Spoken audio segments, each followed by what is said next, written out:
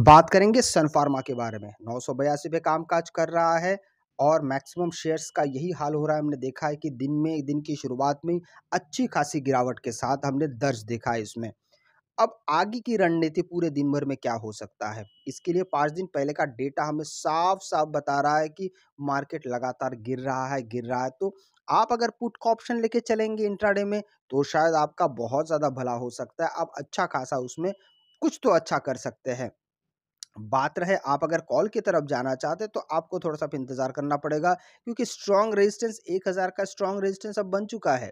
इसको ब्रेकआउट देने के लिए थोड़ा सा वक्त लग सकता है, क्योंकि मार्केट डाउन ट्रेंड की तरफ़ आ रहा है।